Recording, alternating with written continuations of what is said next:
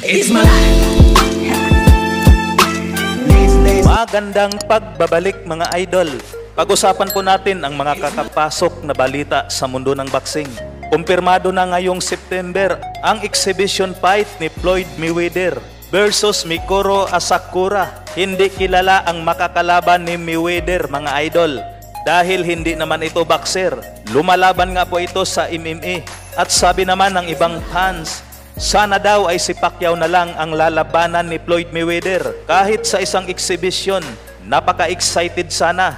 Ano ang inyong opinion mga idol? Paki-comment po sa ibaba ng video. Isa pang kakapasok na balita, Yomer Marshall, todo ensayo na rin para sa kanyang napapalapit na laban. Wala pa namang pangalan na inilabas kung sino ang makakaharap ni Yomer Marshall mga idol. At ayon nga po sa kanyang post, ay malapit na raw ang kanyang laban. So meron na naman tayong Pinoy na aabangan para makikipagbakbakan mga idol.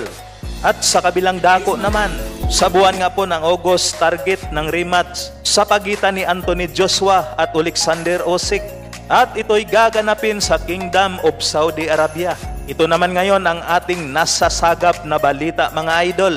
Posibleng lalaban si John Riel Casimero sa undercard ni Anthony Joshua at Alexander Usyk. Dahil nga po mga idol, ay iisa lang ang manager ni Casimero at Alexander Usyk.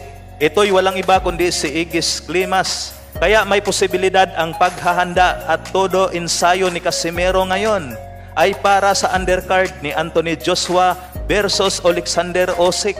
Kayo mga idol, posible ba na maging undercard si Casimero? Paki-comment po sa ibaba ng ating video. Hanggang dito na lamang mga idol. Maraming salamat po. Yo, Padwala Street Time World Champion. Kung bago lang kayo sa channel na to, Pinas Boxing TV, mag-subscribe na. Let's go!